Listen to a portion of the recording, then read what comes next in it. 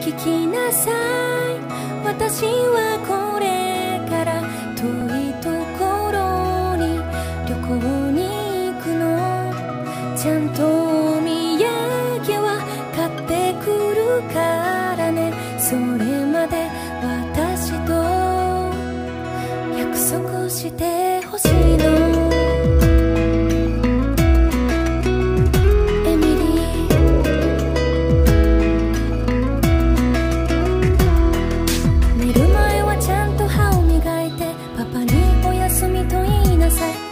友達に優しくした後に見返りを求めちゃいけません。身なりはちゃんと整えなさい。洋服にお金をかけなさい。時には知らないふりで常に冷静に歩きなさい。人とつながる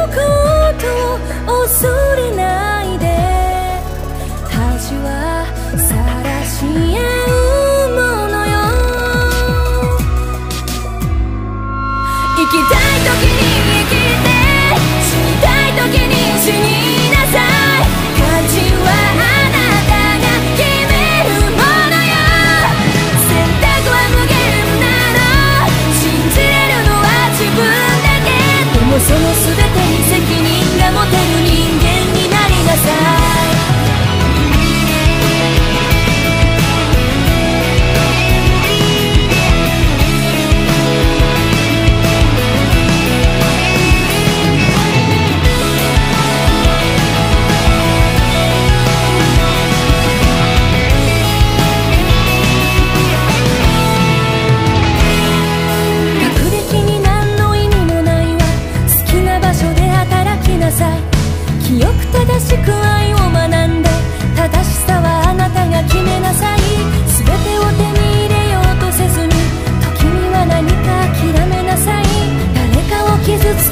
葉は直接面と向かって言いなさい。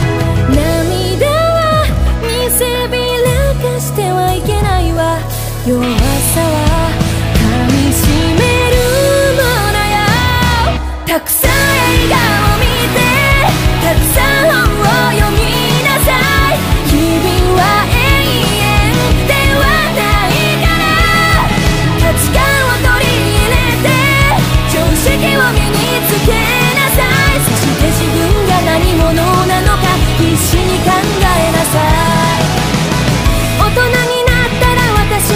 忘れて。あなたの価値観があなたを支え